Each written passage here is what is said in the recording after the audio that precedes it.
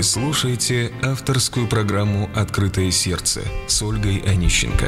Программа, которая исцеляет, ободряет и помогает проходить трудные ситуации в жизни.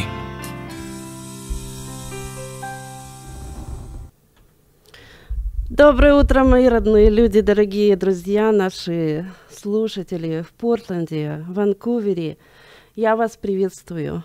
Меня зовут Ольга Онищенко, и я Сегодня буду проводить авторскую программу, которая называется «Открытое сердце» на Slavic Family Radio. Сегодня, дорогие друзья, как вы видите, я в студию одна. И сегодня я совершаю подвиг, потому что я никогда еще не проводила эту программу сама. К сожалению, люди, которые должны были быть моими гостями сегодня, заболели. Зима, и это случается. Слава богу, я не болею. Очень редко болею. Можно сказать, никогда не болею. И очень сильно благодарю Бога за это. Сегодня, друзья дорогие, я буду идти по главам и просто немножко больше расскажу, что в моей книге. Если вы видите, вот «Пазл Илюши». Перед вами стоит книга на английском языке, а русскую книгу я держу в моих руках. Когда вы откроете книгу и прочитаете первую заголовок, подзаголовок на первой главе, там написаны такие слова. «Узнай о своих родителях и прародителях, и так ты много узнаешь о себе». Хочу поделиться моим опытом, что а, книга, вообще-то, главная цель – это поделиться огненным испытанием моей жизни и а, поддержать кого-то, проходящего трудности, поделиться жизненными уроками. И это, конечно, было мое время исцеления душевного. Но я столкнулась с такими трудностями в жизни, с такими вызовами, а, чтобы вы больше меня поняли, почему я сделала этот выбор или этот, я решила, что важно, очень важно описать, кто мои родители и про родителей, чтобы читатель понимал, кто я, кто меня воспитал, а, в какого Бога я верю, какие мои ценности. И поэтому я начала мою книгу из, из таких слов. Узнай о своих родителях и прародителях, и так ты много узнаешь о себе. И честно вам скажу, я очень много узнала, особенно о моих бабушках и дедушках, и о моих родителях, того, чего я раньше не знала. Я знала достаточно, но писала я книгу в 33 года, и а, я много историй слышала от бабушек, но, скорее всего, я их забыла, потому что это не было важно в моей жизни. Но когда я столкнулась с трудностями, когда я столкнулась с огненным испытанием, мне захотелось узнать, кто я, кто мои бабушки дедушки, кто мои родители, а что моя фамилия значит. Вообще, где мои бабушки дедушки родились? Откуда мои корни? И я что узнала, это я описываю в первой главе, что а, мои дедушки и бабушки а, родом из Украины. А отец моего папы, Александр Васильевич Лапин, а, родился вообще-то в Одессе. И я никогда этого не знала, узнала только недавно. А, и, а, но жил он на Украине, поселок Ракитна. А дедушка по маминой линии, Петр Лысенко, родился, вот кажется, он в Савинцах родился, тоже на Украине, Киевская область, Аркиднянский район. И оба дедушки, они воевали на, во время Второй мировой войны. И дедушка Папин, отец, он был верующим. А отец мамы был, ну, можно сказать, тоже верующим по-своему православным. И во время Второй мировой войны, когда разразилась битва, мой дедушка Петр Лысенко, а, он был, он видел, как все солдаты вокруг падали раненые, убитые, и он понял, что ему не избежать смерти. И он взмолился, Господи, если ты жив, оставь меня живым. Я выйду отсюда, я буду тебе искренне, верно служить.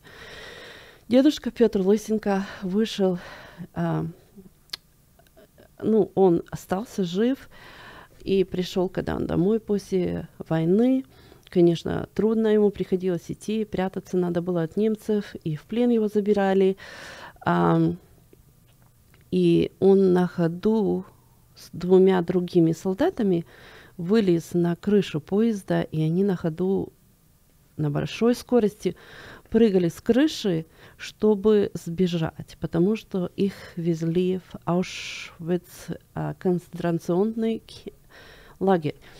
И здесь опять Бог являет ему милость, и Петр Лысенко прыгает, один из первых, и за ним два солдата. Два солдата расстреляли. Петру удалось сбежать. Чудом наш дедушка остался жив. Когда он пришел домой с войны, он нашел баптистскую церковь и там покаялся и начал служить Богу. Там он встретил свою жену Марию Лысенко. А дедушка Александр Лапин тоже вернулся, ходил он тоже в баптистскую церковь. Потом произошло кое-что в его жизни, и он, а, он а, по-новому начал видеть Бога, он получил духовное крещение, и он начал, и он открыл, организовал пятидесятническую церковь, а, где он женился на своей прекрасно возлюбленной Анне Лапин, а, девичья фамилия Сатыр, и у них образовалась Пятидесятническая церковь, которая существует и до сих пор. Это церковь в поселке Ракитна, Киевская область. Сейчас там является пастырь, пастырем брат моего папы Владимир Лапин, а дедушка ушел к Господу уже лет 10 назад. Дедушка Петро Лысенко, а, он а, покаялся в Баптистской церкви, там женился на своей возлюбленной Марии Лысенко и тоже они услышали о духовном крещении, вышли из этой церкви и открыли свою церковь пятидесятническую. И там он был пастором, и у них было много детей. У обоих моих бабушек и дедушек было много детей. Мама моя Вера Лапин третья в семье. А дедушка Петров был на войне ранен, и у него была опухоль в голове. И а, был момент, когда он был при смерти, при смерти был, но большим-большим чудом его Бог исцелил по молитве детей. Все подробности я описываю в книге. И вот так дедушка Петро с бабушкой Машей родили, вот кажется, у них было 9 детей, и он прожил до глубокой старости, 92-94 года. А дедушка Александр Лапин с Анной Лапин тоже родили, кажется, 9 или 10 детей, и Прожили тоже бабушка 63 года, дедушка, кажется, 82. Так что у меня огромное родство, много двоюродных братьев и сестер. И интересная жизнь. Очень интересная жизнь.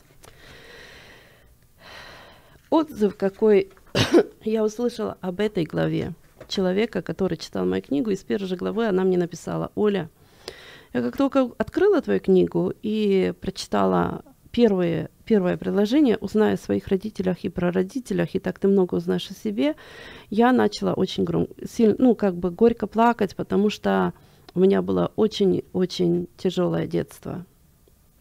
И вот именно читая эту историю, она смогла выплакать, она смогла продумать все. И, как бы сказать, когда человек плачет, когда человек опускается в свое прошлое, в свою боль, он все-таки находит ответы на свои вопросы. И я верю, что это процесс исцеления, когда человек заглядывает в свою душу, проверяет, что произошло, это процесс исцеления. А в конце книги я описываю, как история моих бабушек, дедушек и как я узнала, кто я, куда я иду, почему я здесь вообще живу и откуда мои корни, о чем я расскажу попозже. Вторая глава моей книги начинается вот таким подзаголовком. Ты никогда не, не узнаешь важность свободы, пока ты ее не потеряешь. А мы выехали в Америку в 92 году. И мы, эмигранты, я думаю, все смогли оценить нашу свободу потому что мы знаем, что такое, когда свободы нет. А, я сильно не столкнулась с э, гонениями и притеснениями на верующих. Немножко помню об этом, но мои родители, бабушки, дедушки много-много рассказывали о гонениях. И когда они приехали в Америку, они оценили, что такое свобода. И в моей книге я описываю наш переезд в Америку, а, наш первый опыт, когда мы увидели мороженое в ведерках, когда мы увидели множество фруктов и овощей, когда моя сестра спала с апельсинами под подушкой, потому что она знала, думала, что их завтра не будет. А в Америке я первый раз э, попробовала бананы.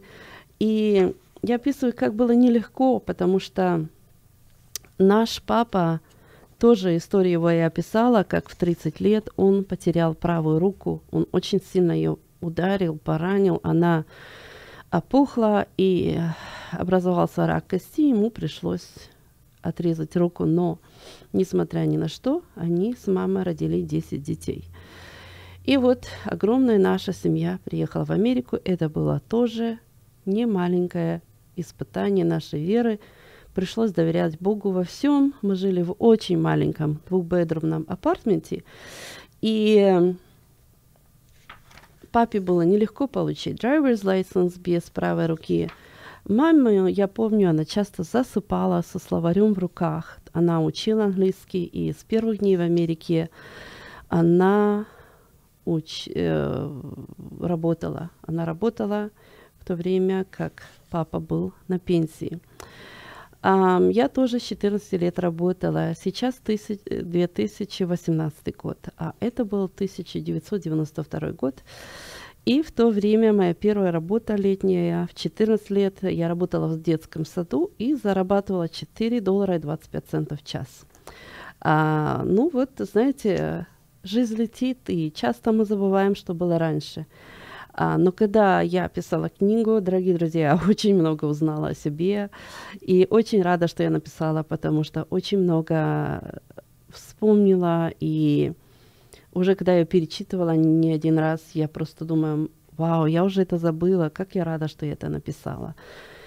И я думаю, когда человек читает нашу книгу, он вспоминает свою эмиграцию в Америку и Здесь я также описала историю а, эмиграции моего мужа, когда в аэропорту они потеряли десятилетнюю дочь. Когда старший брат, ища эту же сестричку, а, опаздывает на самолет, как семья была разлучена, как мама горько плакала, переживала, и как они были соединены, опять же, в Сан-Франциско, в Америке. А, да, так что книга интересная.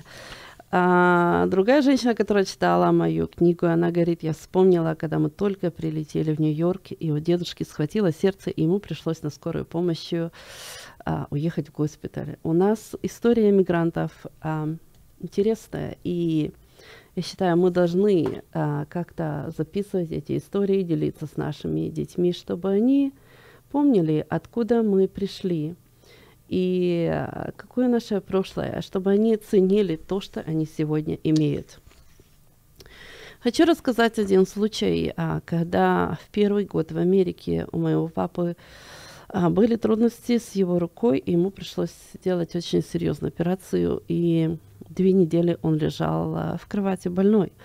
когда человек больной, и когда ты в чужой Америке, и у него было, ему было очень тяжело. Можно сказать, даже вот депрессивное такое состояние. Он много плакал. Он, ему было тяжело привыкнуть в Америке, потому что родители, все братья и сестры были там, на Украине. Мамины родственники были в Америке. И а, в один день к нам приехал директор со школы. И а, почему он приехал? Потому что мой младший брат а, с кем-то подрался в школе. Ну, что-то там произошло, какое-то недопонимание, и этот директор приезжает домой, чтобы рассказать маме, какой же наш брат вредный, ну, кого-то там побил.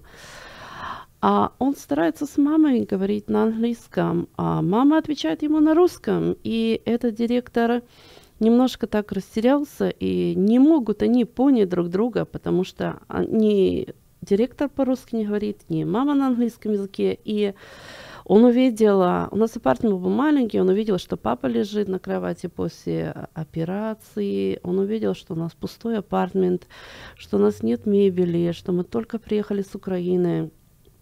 И он так много ничего не сказал, уехал. Через час он приезжает а, на траке большом и весь загружен мебелью. Он поехал куда-то в Гудвилл или я не знаю куда, набрал мебели, все, что мог, и диваны, и лампы, и столы, и там тумбочки всякие, и привез нам вот эту мебель и выгрузил, и это было приятно до слез, дорогие друзья. Вот такие истории я все описываю в моей книге «Пазл Люши». Это, это воспоминание, это история. Я также описываю много о семье моего мужа, о Сергее и Ольге Нищенко, какие трудности их семья проходила, как они тоже а, устроились в Америке. Они были одними из первых эмигрантов в 1988 году. Приехали в Калифорнию, Сан-Франциско.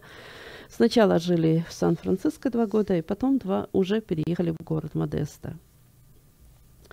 Третья глава моей книги, вот такое написано под заголовок – Брак на всю жизнь. Оставайтесь верными друг другу и в радости, и в горе.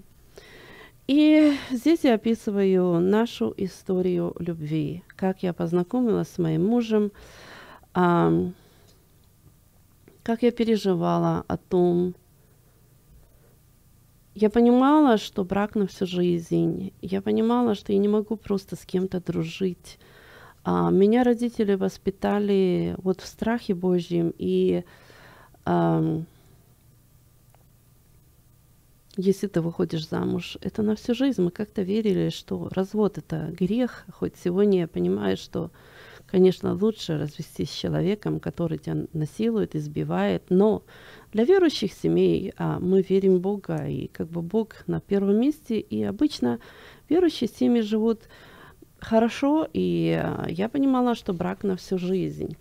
Следующая глава моей книги, как я уже сказала, это третья глава «Брак на всю жизнь. Оставайтесь верными друг другу и в радости, и в горе». Здесь я описала а, историю нашего знакомства с мужем, нашу любовь, и я вам скажу, не все так было просто. Я не знаю, кому бывает просто. Мне было очень непросто. И а, пришлось ему ждать, и я очень много молилась. И, конечно, в день бракосочетания я почувствовала огромную любовь к моему мужу. И скажу, слава Богу, что Бог благословил наш брак, и эта любовь длится до сегодняшнего дня. Муж меня очень сильно любит и поддерживает во всем, что я не делаю. А, она женщина мне вот со мной поделилась таким отзывом. Она говорит, Оля, был а, день, когда, говорит, у нас большие проблемы с мужем. И в один день он уже просто хлопнул дверями и говорит, достало уже все, я с тобой разведусь. И а, он ушел, она говорит, я просто сижу и плачу, и, а, ну, я это слала книгу, и как раз за три дня до этого и она говорит, вот так взгляд упал на твою книгу, и я ее просто вот так открыла, и я ее открыла, вот говорит, как ты думаешь, где? На третьей главе. И там пишется вот эта фраза «брак на всю жизнь, оставайтесь верными друг другу и в радости и в горе». И она говорит, я как начала плакать, и Бог меня начал очень сильно обличать в том, что я поступаю с мужем неправильно. Не только он, но и моя вина там есть очень много. И я мысленно, говорит, я плакала, вот просто каялась, и пришел муж, мы как бы помирились, но, говорит, еще очень много предстоит работы над собой. И говорит, когда я читала, меня очень сильно обличала совесть, потому что молодость провела я неправильно. Так что я верю, что каждая страничка моей книги, каждая строка, каждая глава, она говорит по-своему. И не каждый осмелится рассказать э, свою историю и описать правду. А, мне это заняло 7 лет. Это не было не только написание книги на русском и английском языке, это была работа над собой, работа над тем, чтобы все написать правильно, а самое главное, не скрыть правду.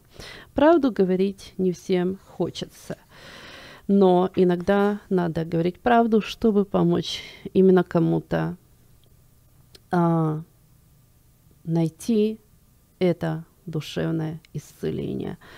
Недавно я разговаривала с женщиной, которая выросла в церкви, но когда большая беда случилась в ее семье, она была еще девочкой небольшой, говорит, церковь меня не поддержала. И она вчера говорит, Оля, я против религии. Извини, но я против религии. Эта женщина про проходит нелегкое не время, заняла очень большое время, чтобы ей исцелиться, восстановиться. Она по-своему ищет Бога, но церкви ее просто оттолкнула. И я, я за церковь, я за Бога, я за народ Божий, я за верующих людей, но э, часто очень неосторожное слово, очень э, такой поступок э, ранит людей, и не каждый может с этим справиться. И э, вот четвертая глава в моей книге Она под заголовок такой «Ты никогда не узнаешь свои настоящие ценности, пока не столкнешься с трудными настоящими жизненными выборами». Хочу сказать то, что до этого мы оба родились в верующей семье. Мы, ну, кажется, любили Бога, вот ходили на собрания, как все. Были очень хорошими верующими такими. Но пришел момент, когда я не знаю, с какой радости. А вот мы просто вечером всегда перед сном вставали вот возле кровати на колени с детьми нашими. У нас уже было трое детей, и мы всегда молились э, каждый вечер с семьей. Я так слышу, мой муж э, произнес вот такую молитву. Господи, я узна, устал быть теплым христианином. А что такое теплый христианин? Теплый христианин это человек, который не горячий, не холодный, он теплый. А кто читает Библию, в Откровении написано, что лучше бы ты был теплым, холодным или горячим. Это значит, лучше бы ты был очень искренним, горячим христианином или вообще неверующим. А когда ты теплый, это христианин, который толком и Бога не знает, и э, говорит, что я верующий, но поступает э, не совсем правильно, иногда своими поступками позорит имя Бога, иногда обманывает, иногда ворует. И вот именно я не знаю, с какой радости вот мой муж, муж вот так помолился. Говорит, Господи, я стал бы теплым христианином, хоть он был очень хорошим человеком. Он, я насколько знаю, не воровал, не обманывал, но вот он что-то хотел больше. Он говорил, если я хочу, если я верю в Бога, я хочу знать, кто мой Бог. И он говорит, Господи, я так устал быть теплым христианом. Я хочу знать Тебя реально. Пошли в жизни мне такую ситуацию, а, которая покажет, кто ты есть на самом деле. И знаете, я вот так стою рядом, молитва, и у меня вот просто дрожь по телу. Я вот почувствовала, что что-то страшное и ужасное произойдет в моей семье. Я так что-то забоялась, подумала, что что-то случится с моим мужем. А, ну, стою и думаю, я мужа очень сильно любила, и думаю, ну, он знает, что он просит. Это его личная жизнь с Богом. И а, с тех пор, конечно, его жизнь очень сильно изменилась. Он просто вот стал другим. Он, а, ну, раньше так читал Библию, иногда детям говорю, почитай Библию. Он так почитает Библию, что дети уснут было как-то неинтересно, но с этого момента он стал другим, он как-то прилепился к этой Библии, он начал очень сильно изучать, и я помню, он начал с главы к римлянам, и он приходит каждый день, вот глаза вот такие сияют, но сначала не так, он сначала приходит, говорит, слушай, я вот читаю, я ничего не понимаю. А он прочитал вот э, послание к римлянам один раз, потом он прочитал послание к римлянам второй раз, и потом он прочитал его третий раз. И говорит, я не понимаю, кому апостол Павел пишет. А, и а,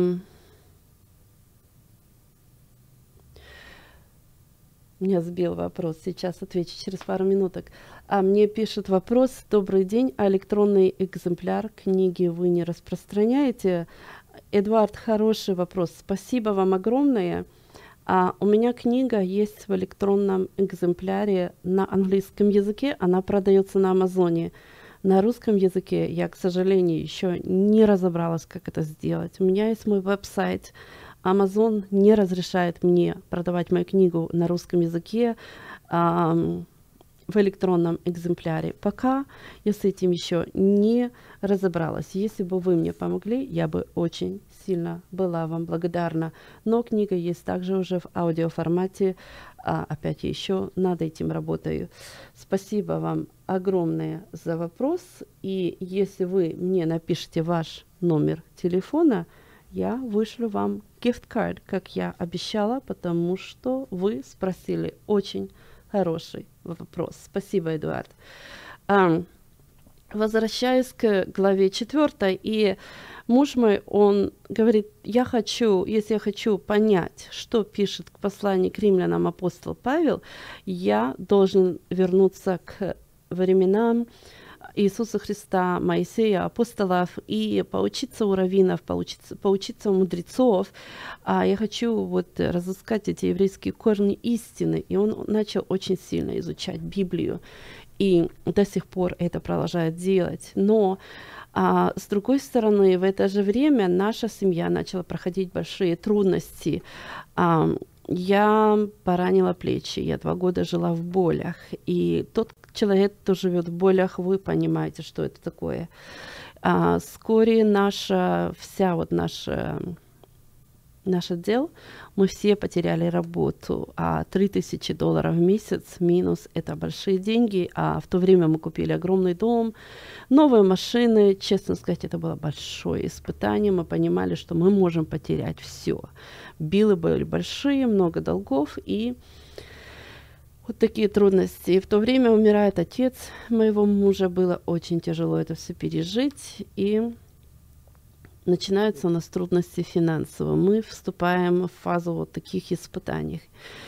А, и меня пригласили мои подружки на одну из молитв, и Бог проговорил ко мне, я вижу твои переживания, но все, что мне от тебя хочется видеть, это твоя хвала. Я хочу слышать от тебя просто благодарение.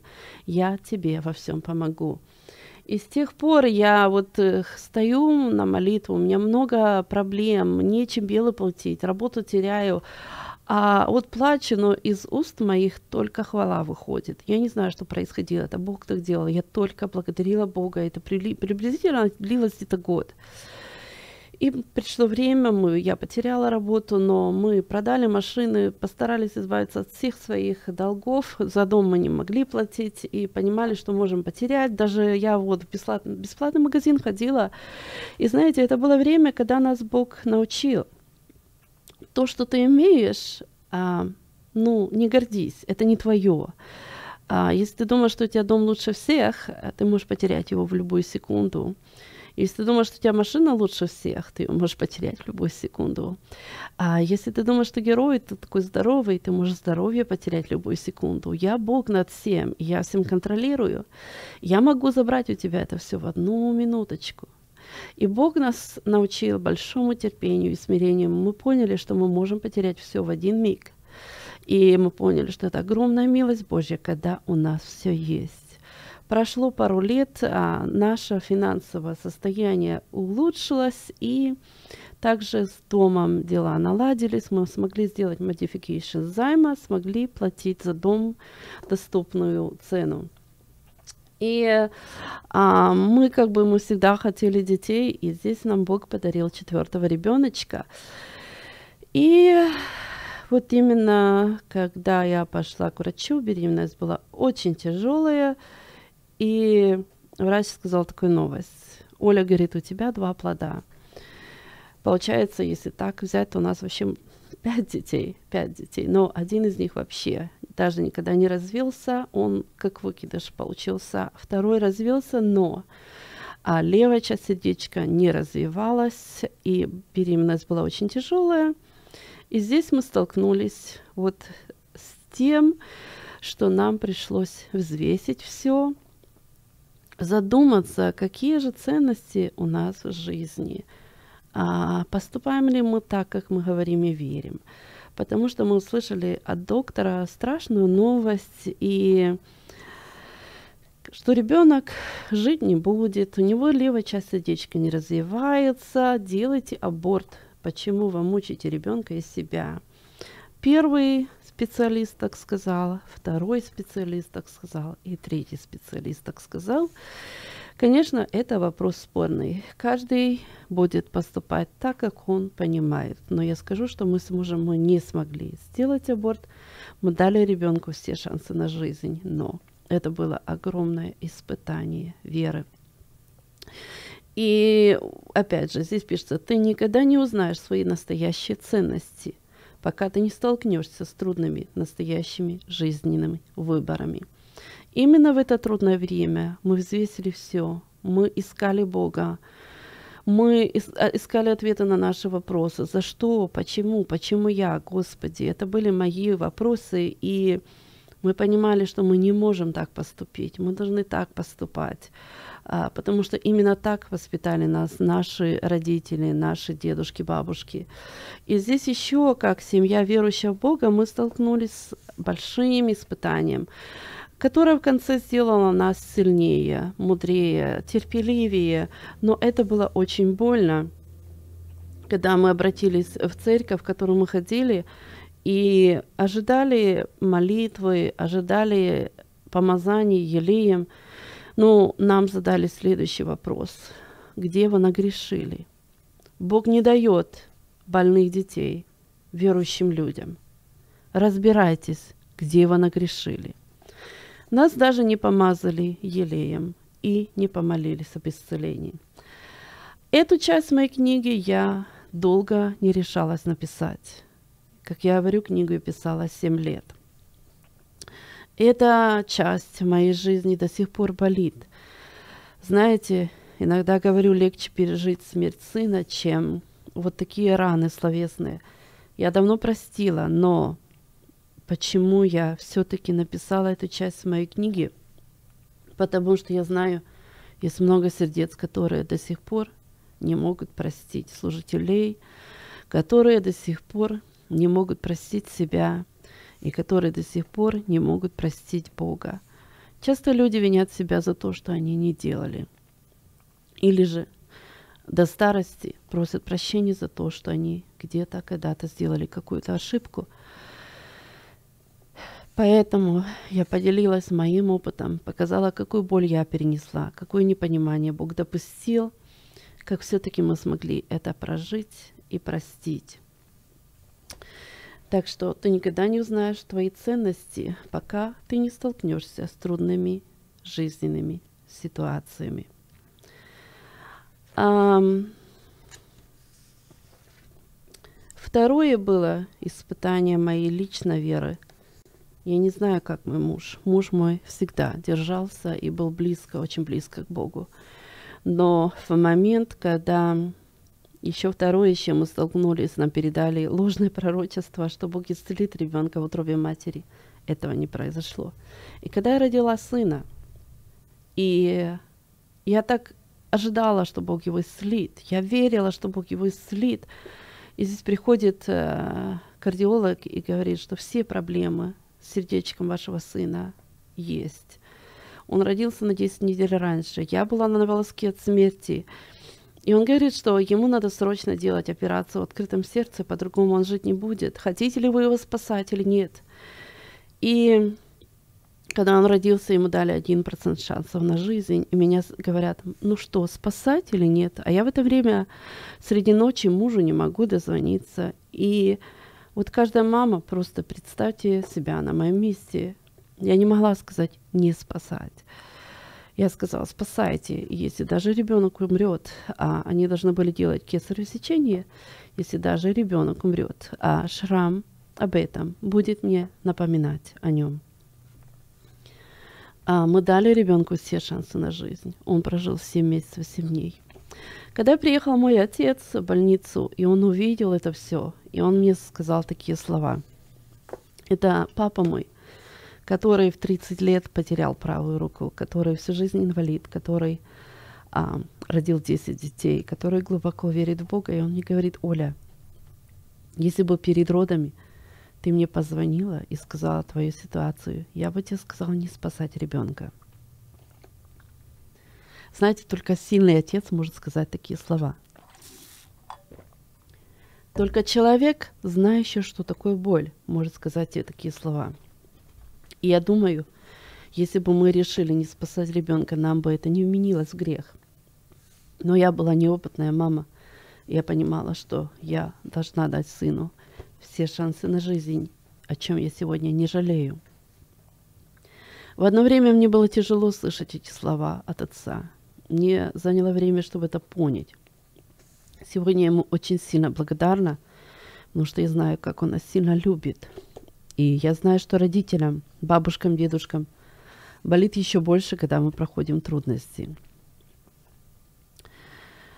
Когда родился сын, и когда я увидела, услышала, когда он такой крохотный родился, 3 паунда, это полтора килограмма, и доктора говорят, у него очень больное сердце, левая часть вообще не развилась, или делать операцию в открытом сердце, или дать ему умереть.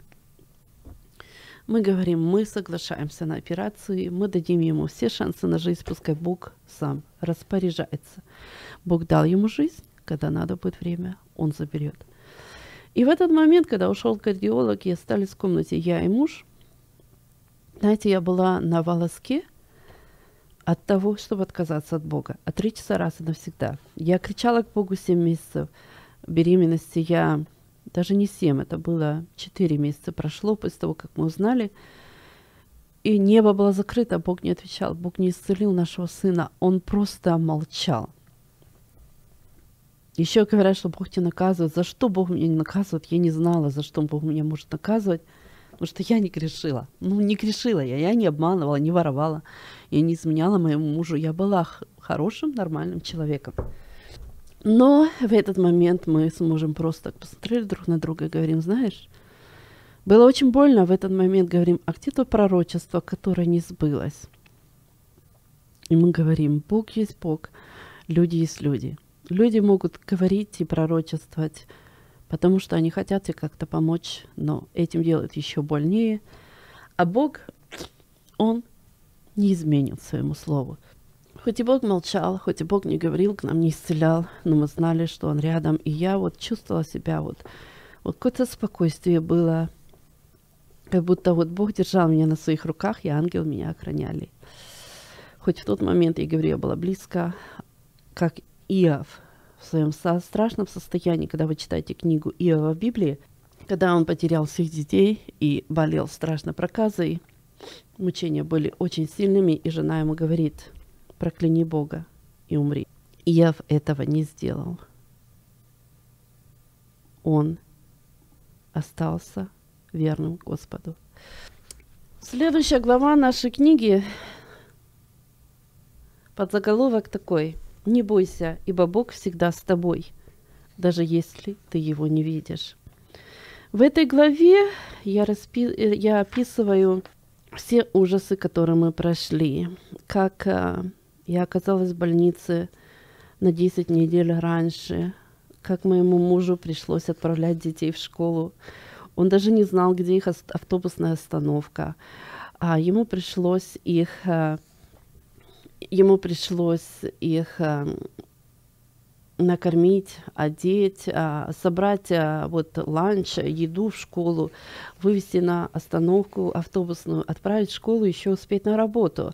А мужчина обычно этого не делает. Ну вот именно мой муж этого никогда не делал, и это было emergency, это было то время, когда ему пришлось столкнуться с тем, что он никогда не делал. Он больше недели был сам дома с детьми, и, как я слышала, он тогда говорил моему брату, я почувствовала, что такое быть отцом-одиночкой. И, а, дорогие друзья, мы никогда никого не поймем, пока сами не почувствуем это на своей шкуре.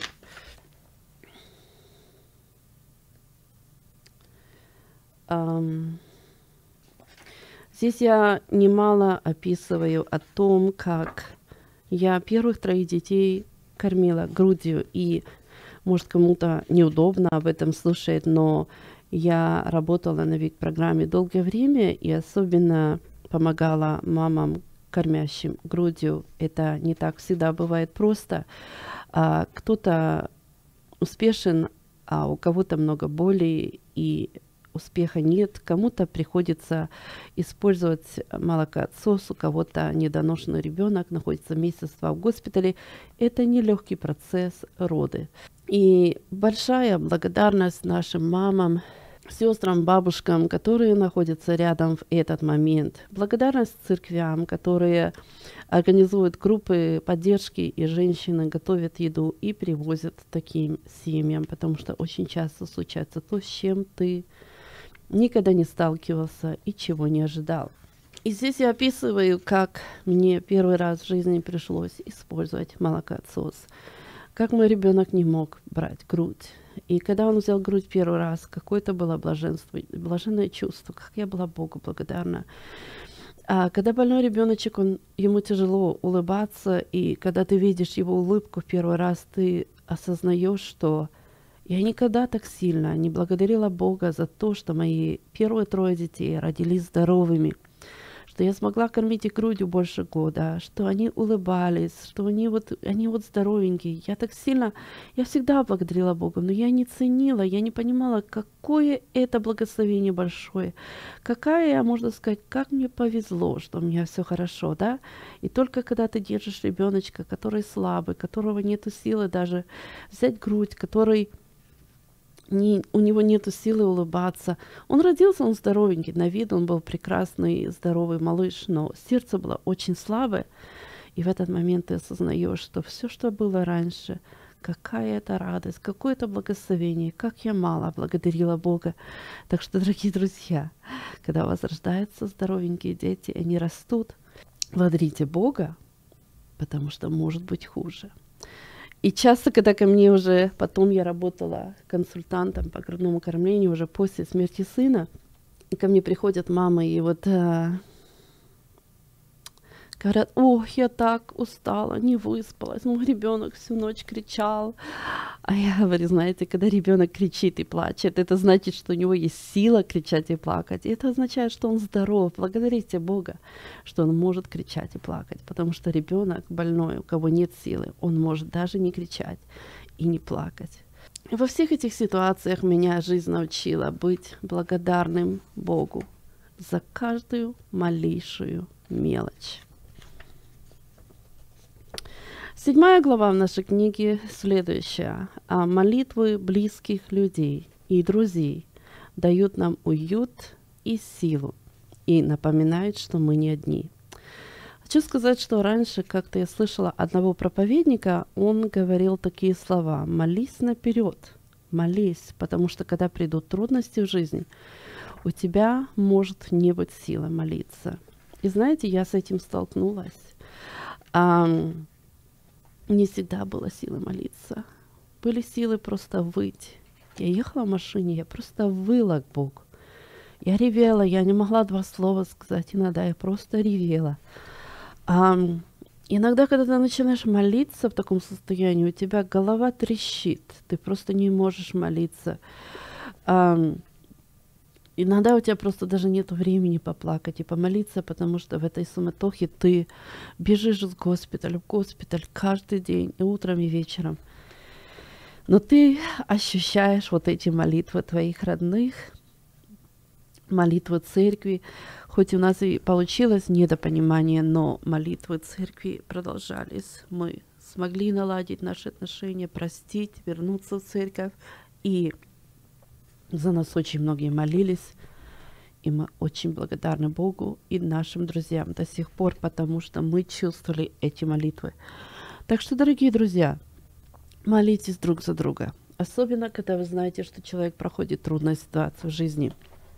Я хочу поделиться одним случаем, когда уже потом, позже, когда после наших трудностей мы пришли в еврейскую мессианскую общину, потому что, ну, там нам нас туда влекло сердце, мы узнали, что у нас еврейские корни, а много чего мы вычитали из Библии, а, мы просто как-то понимали жизнь, вот именно так, более-менее, как понимал этот пастырь, как эта община, и мы начали туда ходить, и а, я столько выплакала в жизни, что я все, что я хотела делать, это просто радоваться. И мне там было хорошо, потому что песни очень веселые, душевные, проповеди с глубоким смыслом и хороводы. Вот именно мне очень нравилось в этой общине.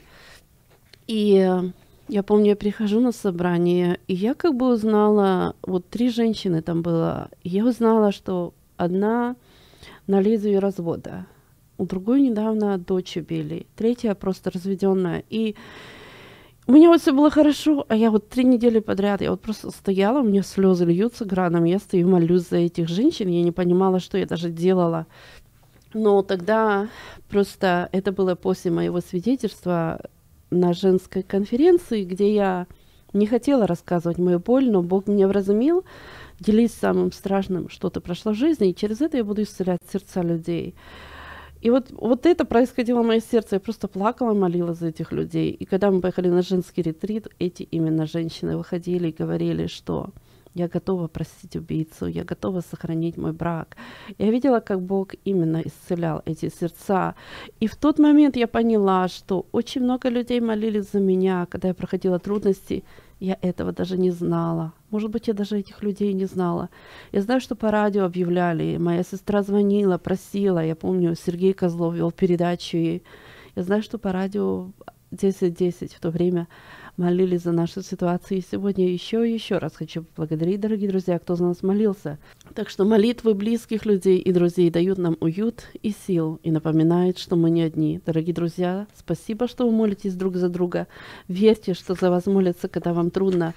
Молитесь за других, когда вас просят. И а, поддерживайте друг друга в трудных ситуациях. В этой главе восьмой я описываю а, моменты тяжелые, очень тяжелые моменты, когда мне говорят, жить сын не будет, а он лежит, улыбается. И как-то вот именно вот эти, вот эти улыбки, это были знаки от Бога, что все будет хорошо. Это Бог со мной разговаривал и обнимал меня просто без слов. Это было, с одной стороны, очень тяжелое время в жизни, с другой стороны, Бог был очень близко. А в восьмой главе вот подзаголовок такой «Незначительные вещи могут принести нам большие радости». А, как я уже сказала, что когда у нас в жизни все хорошо, мы не ценим то, что у нас хорошо, мы не ценим то, что мы имеем. Я недавно написала, ну, недавно, 7 лет назад написала стих, который я напис... назвала, назвала, назвала «Чудо». А, я его, наверное, сейчас и прочитаю, чтобы как-то немножко сделать нам а, отдохнуть немножко. А, я его назвала «Чудо», и в этом стихе я пишу о том, что мы часто не ценим то, что мы имеем, пока мы не потеряем. Стих «Чудо». Почему-то в этом мире – Иногда все наоборот. Ждем чудес мы свыше и не замечаем, что оно вот. Чудо рядом с нами, чудо живет в нас, чудо окружает нас в жизни каждый час. Но мы не замечаем, привыкли мы к себе, к любимым детям, к мужу, к работе, к суете. Все кажется простым нам, все кажется бытием, как будто так и надо, дышим и живем. Ничего нас не удивляет и сильно не страшит. Здоровье, силы, деньги знаем, что Бог дарит. Не видим мы в этом чудо, как будто должен Бог. Здоровье, счастье, благо принимаем, как должно. Пока все хорошо у нас, не знаем мы беды, не понимаем бедных, больных и кто в тюрьме. Хочу я поделиться, что в жизни поняла, что чудо — это жизнь моя, здоровье и глаза — Ум здравый — это чудо. Могу ходить — ура! Язык имею, губы, могу говорить слова. Не болит у меня сердце, вот это чудеса. Здоровы мои дети, прекрасны их глаза. Во всем я вижу чудо. Я не заслужила ничего. Ничего мне Бог не должен. Мне в жизни просто крупно повезло. Повезло, что слышу птиц пение — что вижу небо каждый день. В тиши могу склонить колени и обнять любимых мне детей. Чудо, что я могу работать, ходить в собрания, слушать, петь, что могу ездить на машине и быть нормальной среди людей. Большое чудо быть любимой, иметь родителей, друзей. Большое чудо быть хранимой самим Создателем людей. Но не всегда мы замечаем, что чудо окружает нас. Мы недовольны, унываем, и что-то беспокоит нас.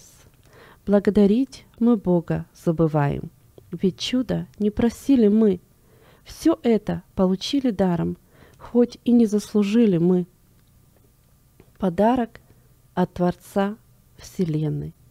Подарок просто, без заслуг. Нам повезло, благословение окружает нас, и нет недуг.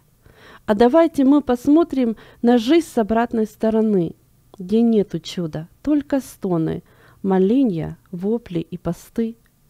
Лежит голодный. Это ли чудо? Сидит слепой. Заслужил ли он? Хромой с рождения.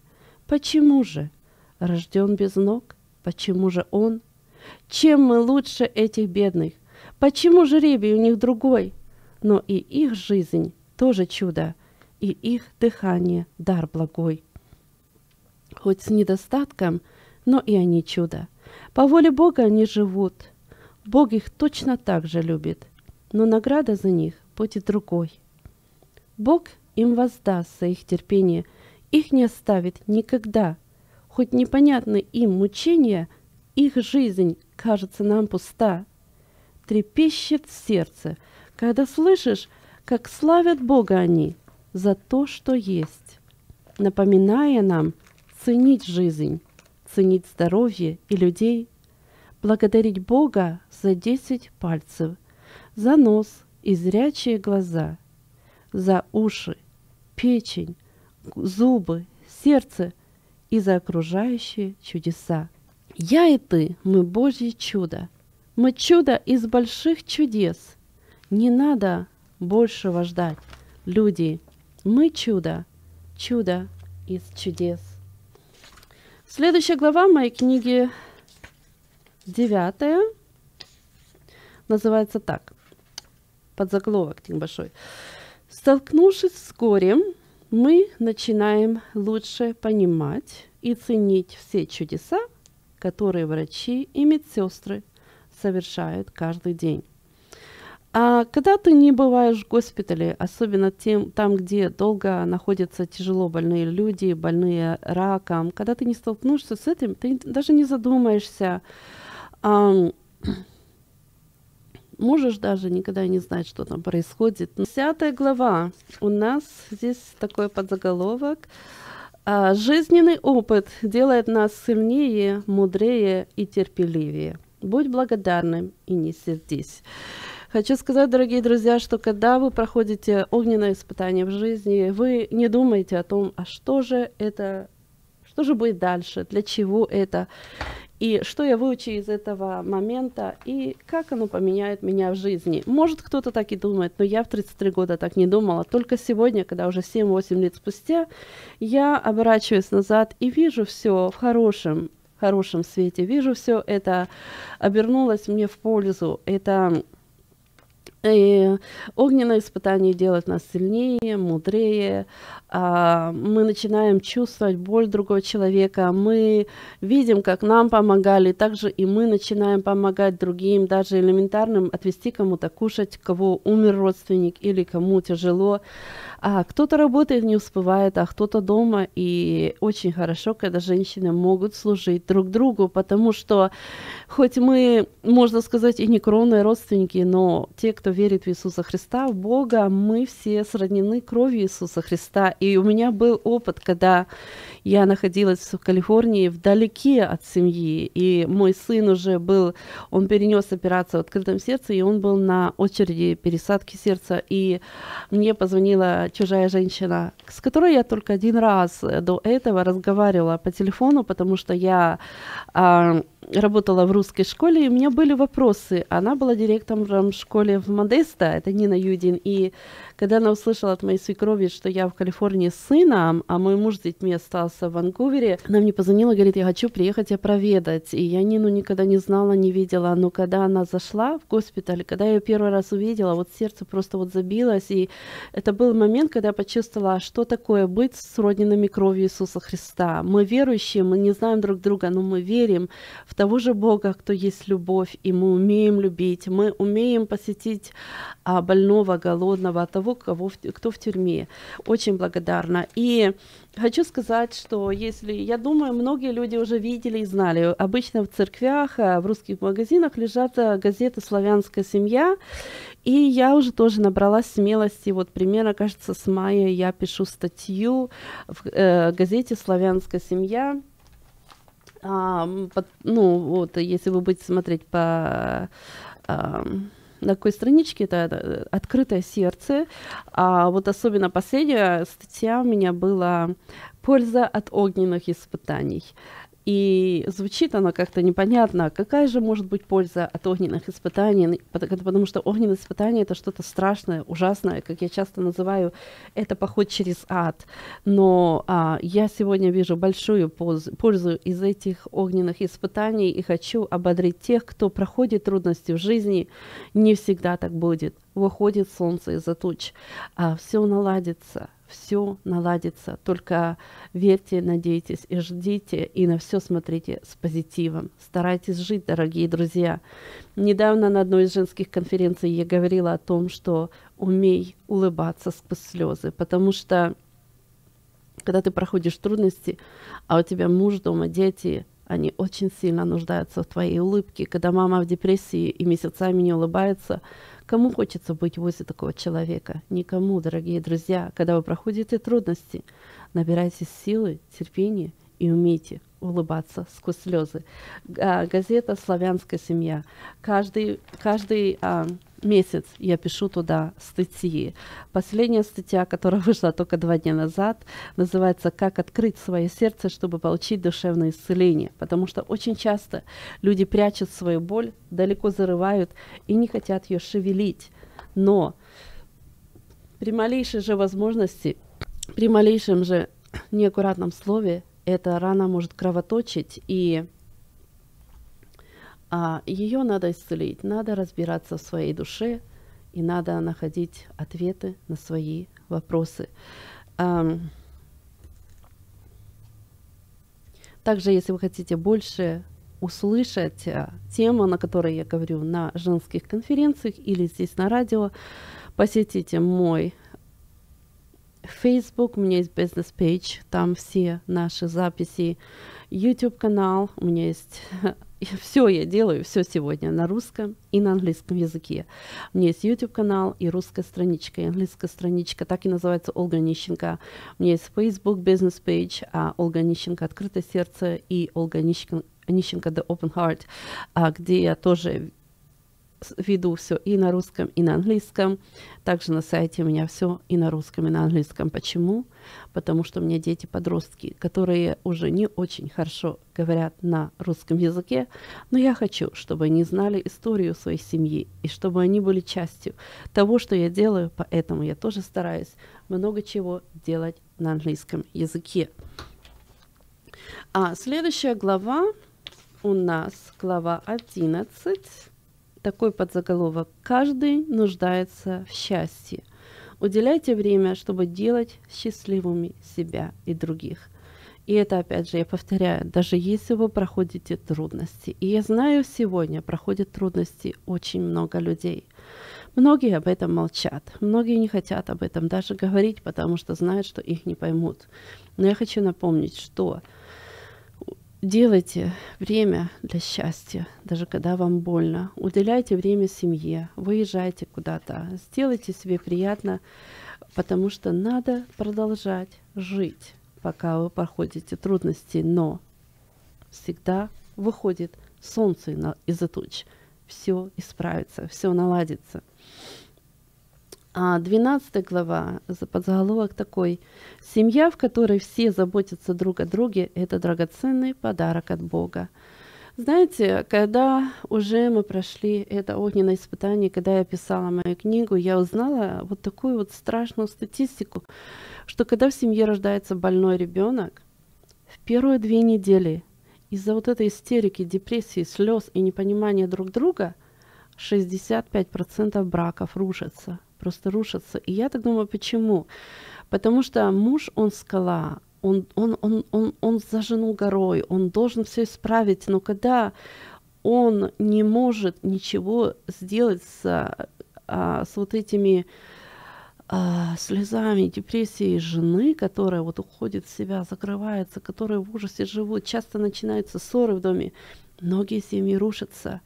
И в течение еще 6 месяцев доходит до 80%. Семьи рушатся, когда происходит горе. И я свидетель этому. Я много лично здесь у нас в Ванкувере этого видела и слышала.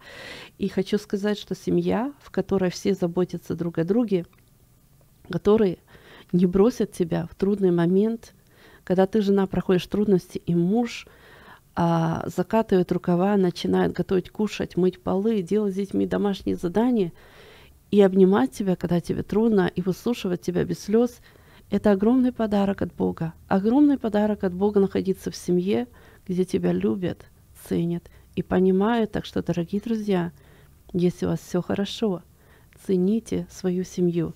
И каждый день благодарите Бога, что у вас все хорошо, потому что не всегда так будет не всегда все будет хорошо. Сохранить Боже, чтобы всегда было все хорошо. Но люди умирают, люди разбиваются в авариях. Бывает, случаются страшные ситуации в жизни. Мы теряем то, что есть. И как часто люди жалеют. Я вам напоминаю, цените то, что имеете. И благодарите Бога за каждую минуту благословенной жизни. Глава 13 а, в моей книге «Пазл Илюши» а, «Бог – это личный опыт». Чем больше мы учимся, тем больше мы понимаем и себя, и Бога. И было время, когда в, одно, в один из дней я просто вот, э, вот просто как полилась. Вот я вот писала все уроки жизни, все, что я поняла в это время, потому что я часто говорила, за 7 месяцев болезни сына я выучила о жизни больше, чем за мои 33 года в то время. И один из моих уроков был такой, что когда ты сделаешь шаг к Богу, Он сделает к тебе два. А Бог не будет тебя заставлять служить Ему насильно. Бог ждет твоего открытого сердца. Бог ждет, чтобы ты его жаждал, чтобы ты его искал. И Он будет тебе открываться. Он открывается жаждущему сердцу. Он начинает говорить с тем, кто умеет слушать, кто готов слышать его голос. А, я поняла, что Бог помогал мне через людей. Бог говорил со мной через людей через птиц, через природу, через Слово Его.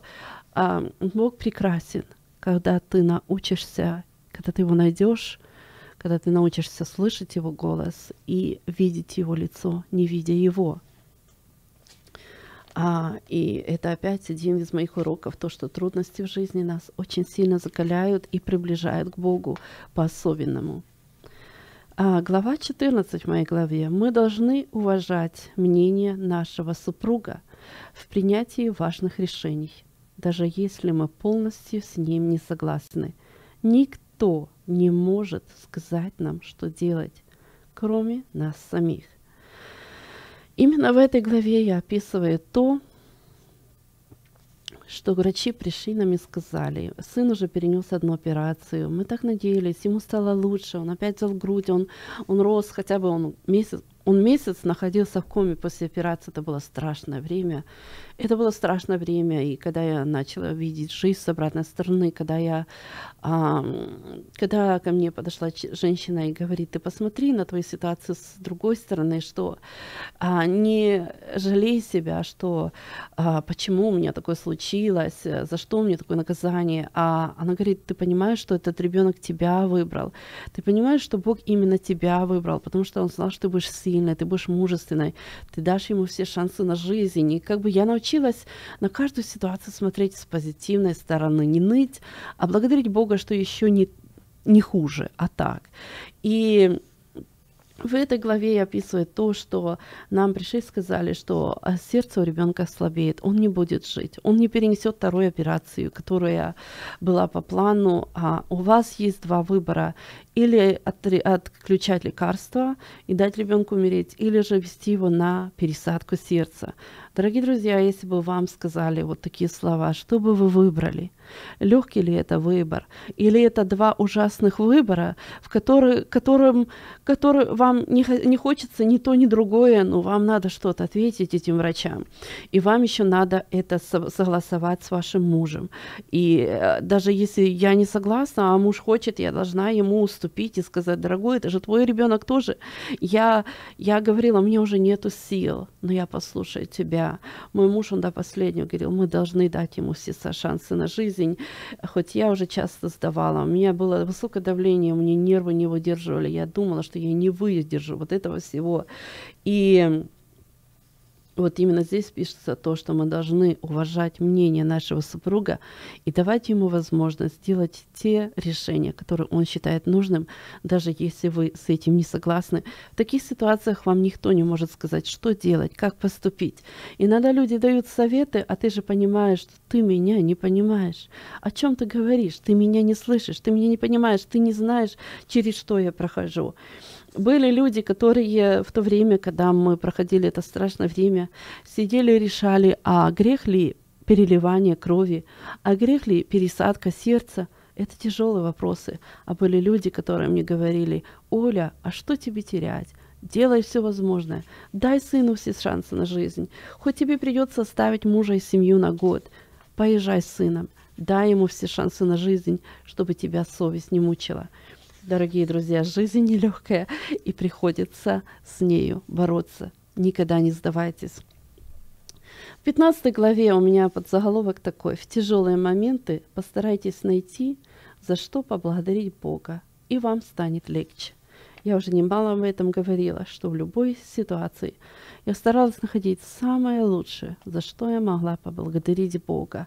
Вот, например, я находилась в городе Пало-Алто с ребенком в больнице Стэнфорд, где я была одна одиношенька, без машины, и меня окружали совершенно чужие люди.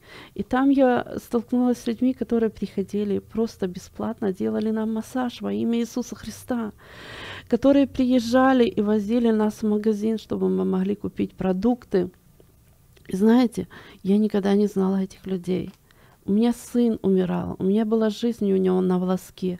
Но я благодарила Бога с слезами за этих людей, которые были рядом, которые за меня молились, которые делали мне приятно. А, находясь в Калифорнии, я тоже попала в госпиталь, и моя жизнь была на волоске. Но я очень сильно благодарила Бога за медсестру, которая окутала меня теплым одеялом, вывезла в инвалидное к, к этому креслу в мою машину. Разрешила мне эти просто не взять с собой теплые, чтобы я не замерзла в машине. Я так благодарила Бога за иншуринс, за докторов, которые мне помогали. Вместо того, что это был день а, операции сына, я не смогла быть рядом с ним, потому что мое здоровье сдавало из-за всего стресса. У меня открылось страшное кровотечение. Моя жизнь была на волоске. И думаешь, куда еще хуже. Но в таких моментах мы должны очень сильно, всегда, дорогие друзья, благодарить Бога. 16 глава под заголовок такой. «Мы глина в руках Божьих. Он формирует нас так, как считает нужным». Был момент, когда я просто открыла Библию и прочитала стих. А, «Ибо я знаю планы о тебе. Прежде чем я образовал тебе, я уже знал тебя». И я поняла, что Бог знал будущее моего сына, жизнь его запланирована. И Бог знает первый последний день. И тот был день, когда я сказала, Господи, я сдаю, сделай, что хочешь. Я поняла, что я глина в руках Божьей. И вот что-то не делай. Да, мы молились, мы верили, но все равно я поняла, что будет то, что предназначил Бог. Это был момент, когда я просто вот сдалась. Я говорю, Господи, я сдаюсь я перестаю бороться, делай, что тебе надо. И я чувствовала, что это был день, знаете, как говорят, перерождения твоего. Я чувствовала, когда меня вот как будто втоптали в землю. Еще вот так ногой протерли, втоптали туда, себя ничего не осталось. И Мы глина, дорогие друзья, мы глина в руках Божьих, и Он нас формирует, как Он считает нужным, и иногда это очень больно. Но из нас потом выходит огромный красивый сосуд чести. А, помните об этом и учитесь иногда просто сдаваться. Говорить, Боже, я сдаюсь, я сделала все, что я могла. Теперь ты делай то, что ты считаешь нужным. Конечно, всегда лучше быть всегда послушными Богу, иметь уметь давать ему возможность работать в нашей жизни сразу, но у меня это заняло долгое время. А в 17 главе у меня подзаголовок такой. Бог разговаривает с нами через ветер и облака, через деревья и цветы, через солнце и радугу и через людей. Это его прекрасные дары к нам, людям. Кто будет читать мою книгу, вы увидите, здесь есть такая фотография, два ангела на небе. Это когда мой муж и дети, через две недели, когда я уехала в Калифорнию с сыном, они ехали меня проведать. И моя дочь просто э, фотографировала природу, облака, и она сфотографировала на небе два ангела а, в форме облаков. Я свидетель, вы это увидите в моей книге. И знаете, когда я увидела эту фотографию, я говорю, Господи, ты так рядом. Ты так рядом. Ты даже через облака показываешь, что ты рядом. Хоть нам так тяжело, но я знаю, что ты знаешь, что нам тяжело, и ты нас проводишь через это по причине. И сегодня я за все благодарна Богу, что Он нас через это провел. В 18 главе под заголовок такой «Бог не допускает больше, чем мы сможем понести». Дорогие друзья, хоть вам кажется, это уже вам не под силу, куда еще хуже, но поверьте, вы сможете все пройти – вы сильнее, чем вы думаете, и Бог вам не даст больше, чем вы сможете снести.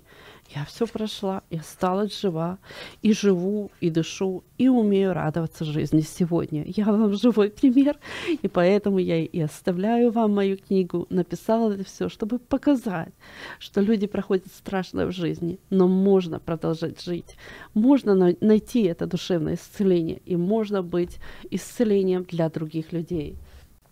20 глава, а, подзаголовок такой. Мы верим в чудеса, даже если у нас очень маленький шанс на удачу. Это был момент, а, когда нам уже всячески доктора спасали нашего сына, и им пришлось сказать, что мы сделали все, он умирает. Когда я услышала эту весть, а, честно вам скажу, я до последнего верила, что Бог его исцелит до последнего. Но сын умер, Бог забрал его. А вера с нами всегда. Вера – это очень сильное чувство. Еще хочу поделиться тем, что я очень сильно боялась смерти, и об этом описываю, какие ужасы я пережила в детстве после похорон тети. Я очень сильно, я просто была травмирована этим. Я не знала, как я встречу смерть моего сына, но Бог дал огромное спокойствие, огромное спокойствие. Бог был очень рядом. И именно в эту неделю, когда Он забрал нашего сына, Бог пришел в больших чудесах. И эти все чудеса я описываю в книге, я просто не могла молчать, потому что Бог был настолько реально, настолько реально, настолько реально. А, об этом я сейчас не буду рассказывать, но вы это можете все прочитать в 20 главе. В 21 главе у меня подзаголовок такой «Жизнь драгоценна, но все встретятся со смертью». Это только вопрос времени, когда. Так что, дорогие друзья, вас смерти не вам не миновать смерти, если вы только не будете Енохом или кто там еще, Илья, которые поднялись на небо, а, не умирая. Это надо быть большими-большими праведниками, чтобы не встретиться со смертью все встречаются со смертью. И скажу вам одно. Научитесь жить так, чтобы у гроба о вас говорили хорошие вещи, потому что то, что говорят о вас на земле, слушает небо. По этим же словам будет судить Бог вас на его суде. А все встретятся перед Богом на суде праведном. И проживите жизнь так, чтобы вам не было страшно умереть, чтобы вы с радостью переходили в новый мир. Бог живой, а, есть иной мир, есть жизнь за гробом, да, есть жизнь за гробом. И почему бояться смерти? Тот, кто не грешит, тот, кто любит Бога, тот, кто живет правильно, праведно, не будет бояться умереть. А как жить праведно, нас учит книга жизни, а это Библия. А 22 глава под заголовок такой. Жизнь непредсказуемая, независимо от того, что происходит, мы должны продолжать жить. В этой, нед... в этой главе я описываю, а, как мы прожили первый месяц, два, три после похорон сына. Как в течение первой недели каждый вечер к нам приезжали знакомые, друзья, привозили нам еду, цветы, подарки а, нам привозили багажниками еду. Это, это просто такие чудеса. Бог нас так окружил любовью друзей в это время, когда нам было трудно. И хоть больно, а, хоть ты плачешь, но ты должен контролировать себя. Жизнь не останавливается. Ты не можешь закрыться в комнате и рыдать днями и ночами. Тебе надо жить. Тебе надо дарить улыбку детям, мужу. Тебе надо вставать, кормить их, а, готовить, кушать тебе надо продолжать жить, тебе надо справиться с тем, одежда сына, его фотографии, его видео, что ты будешь дальше делать, а, как ты будешь получать твое исцеление. Вот именно в этой главе я все это описываю, как с этим встретились наши дети, какие они вопросы спрашивали, а, как мы им отвечали, как мы с мужем утешали друг друга, как мы Иногда выслушивали друг друга, иногда просто говорили, хватит, перестань, э, все позади, нам надо жить.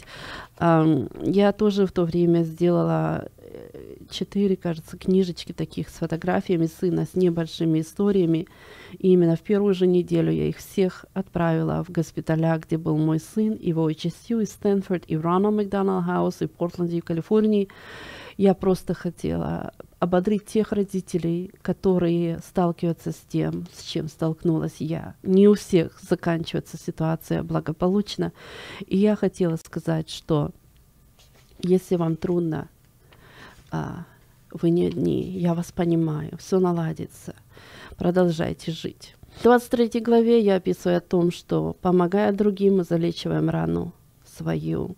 Я описываю здесь, как залечилась моя рана, как я начала а, свидетельствовать на женских конференциях то, что в трудные моменты нас Бог несет на руках, как я пошла на работу, мне Бог дал работу, работать с мамами, с грудными детьми. Я думала, что я никогда не смогу взять другого ребенка на руки, но именно туда меня Бог послал. И как я помогала мамам и со здоровыми детьми, и с больными. И именно так, когда я помогала, залечилась моя рана. Так что очень часто, когда мы проходим трудности, мы начинаем помогать другим людям. В 24 главе я пишу о том, что встретиться со своей проблемой и победи ее. Очень часто мы боимся чего-то в жизни, избегаем. Я боялась взять чужого ребенка на руки, но я знала, что мне надо победить этот страх. И я здесь описываю, как я позвонила моей сестре, она родила. И вместо того, чтобы избегать этого ребенка, избегать мою семью, я ей говорю, я хочу взять его на руки. Я хочу выплакаться. Я, я не хочу, чтобы видела это моя семья. И когда мы встретились, когда я взяла его на руки, я даже не заплакала, потому что он не был похож на моему сына. Но я столкнулась с этим страхом, я поборола, и потом я работала именно с младенцами. А в, 2, в 25 главе я пишу о том, что у Бога есть на все свои времена и сроки. Мы должны Ему верить и должны Ему доверять, потому что Бог контролирует всем. Верьте вы этому, не верьте. Он контролирует нами и нашей жизнью. В 26 главе я пишу, что вам придется решить для себя – ценности других людей не всегда могут быть вашими ценностями. Именно в этом я описываю, как мы по-новому узнали Бога, как мы узнали, что у нас еврейские корни, как мы поменяли многое в жизни своей. И сегодня я не боюсь того, что обо мне скажут люди. Я боюсь от того, что обо мне скажет Бог. И я всех вас призываю, дорогие друзья, живите для себя, живите ради Бога, живите ради счастья, наслаждайтесь жизнью, поступайте так, как вы понимаете. Очень важно быть довольным всем. Не будьте в какой-то коробке, клеткой, руководимы кем-то и жить в удовольствии для кого-то, кому-то угождать. Живите в свое удовольствие. Благодарите Бога за каждую секунду жизни, потому что жизнь прекрасна. И прекрасно жить, когда вы смелы, когда вы умеете наслаждаться жизнью, когда вы не боитесь высказать свое мнение, когда вы ищете правды, и когда вы поступаете так, как вы считаете правильным. И в конце моей книги я обращаюсь к читателю, и я затрагиваю 13 вопросов. Первый – как пережить потерю близкого, любимого человека. Второй – можем ли мы доверять врачам. Третий – сделали бы мы тот же выбор, если бы у нас не было медицинской страховки. Четвертый, а что, если я сильно боюсь смерти? Пятый, а что, если мы сделаем неправильный выбор? Шестой вопрос, изменится ли моя жизнь после смерти близкого мне человека? Седьмой, как я могу продолжать любить Бога после такого испытания? Восьмой, как справляться со стрессом? Девятый, можем ли мы контролировать чью-то жизнь? Десятый. Как помнить своих близких, которых уже нет с нами. Одиннадцатый. Что делать, когда врачи не дают шансов на жизнь нашим близким. Двенадцатый вопрос. Что делать, если окружающие люди не понимают меня и делают мне больно. Тринадцатый вопрос. Как потеря близкого человека может повлиять на нас и 14 я здесь написала, что нам надо продолжать жить, и поделилась стихом чуда, который я сегодня прочитала немножко раньше. Друзья дорогие, наша передача подходит к концу. Книгу «Пазл Илюши» вы можете приобрести на amazon.com, напечатав в поиске английскими буквами Ольга Нищенко. Вы можете купить эту книгу на моем сайте olganищенко.com. Если вы живете в Портленде, Ванкувере, вы можете приобрести эту книгу в магазине книжном Персида и в русских магазинах Гастроном и Премьер. И также вы можете позвонить мне лично 360 521 9240. В настоящее время я очень многое делаю для того, чтобы помочь людским душам исцелиться. И этого это вы найдете на моем сайте olganищенко.com, то есть специальная страничка «Поддержка в трудных ситуациях». Вы можете много прослушать на моем YouTube-канале эти свидетельства, которые делятся люди здесь на моей передаче. Все, что мы делаем, это чтобы поддержать вас, дорогие друзья, в вашей трудной ситуации. Всем хорошего дня. А сейчас я включу небольшую рекламу о нашей книге и будем с вами прощаться. Всего вам хорошего. Вышла в свет новая книга под названием «Пазл Илюши». Эта книга – история обычной семьи, столкнувшейся с необычными обстоятельствами. Автор книги – Ольга Онищенко. Порой в жизни, столкнувшись с трудностями и горем, людям нелегко понять друг друга – и, пройдя тяжелые жизненные ситуации, получить душевное исцеление. История, описанная в этой книге, не оставит равнодушным никого. Книгу «Пазл Илюши» можно приобрести на amazon.com, в книжном магазине «Персида» в Портленде, в русских магазинах «Гастроном» и «Премьер» в Ванкувере, а также по телефону 360 521 92 40. Книга также издана на английском языке – The Puzzle of Elijah.